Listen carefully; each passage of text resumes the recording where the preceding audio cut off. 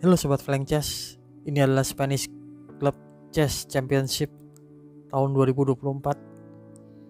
Suatu keadaan terjadi dalam kejuaraan ini di mana Shevchenko, tepatnya Kirill Shevchenko dari Rumania, melakukan tindak kecurangan dengan berkali-kali menuju toilet dalam jalannya pertandingan sehingga dikeluhkan oleh lawannya dan dicurigai oleh juga oleh lawannya. Akibatnya, Shevchenko dikeluarkan dari kejuaraan ini setelah melalui babak pertama dan babak kedua. Babak pertama melawan Basem Amin yang semestinya remis menjadi kemenangan buat Basem Amin. Yang kedua melawan Falaho yang juga menjadi kemenangan buat Falaho.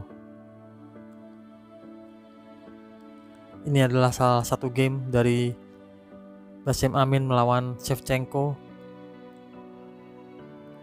Seperti apa pertandingannya? Kita lihat Basim Amin putih memainkan E4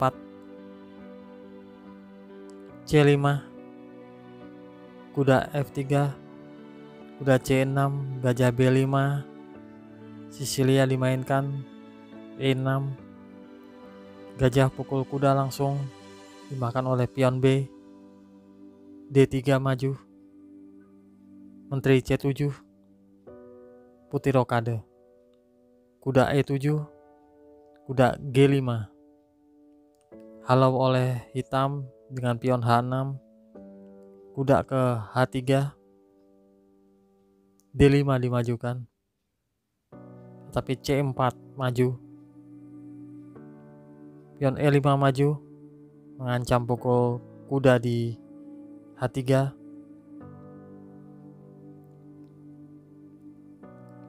tapi F4 dimajukan. Hitam pukul kuda di H3 makan oleh pion. Pion pukul pion di E4 pion makan. Pion E makan pion F4 gajah pukul pion. Menteri menghindar ke H ke C8 mengancam pion H3 tapi menteri ke G4 kuda G6 gajah G3 menteri pukul menteri makan oleh pion. Benteng D8 kuda C3 gajah D6 gajah pukul gajah benteng ambil gajah. Benteng ke F5 hitam rokade. Benteng ke benteng A ke F8 F6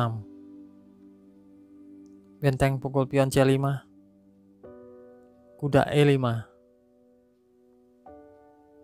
benteng A5 menumpuk benteng benteng F ke D8 benteng ambil pion A7 benteng D2 dilawan oleh benteng ke F2 kuda pukul pion G4 benteng ambil benteng di D2 benteng makan. Pion H3 mengancam kuda. Udah kembali ke E5. Benteng ke B7. Kuda pukul pion di C4. A4 dimajukan. Raja ke H7. Benteng ke B4 mengancam kuda. Kuda makan pion di B2. Pion maju A5. Pion C5 mengancam benteng benteng naik ke B7 kuda C4 A6 kuda ke E5 raja ke F1 kuda F3 pion A7 kuda ke H2 skak. Raja ke E1 kuda kembali ke F3 raja ke F1 lagi dan ini akan terjadi langkah bolak-balik. Udah bisa melakukan skak lagi. Kalau raja ke G1 kuda ke F3 akan kembali lagi ke F1 kalau raja ke H1 suatu blunder karena skakmat benteng di H2 demikian game berakhir remis.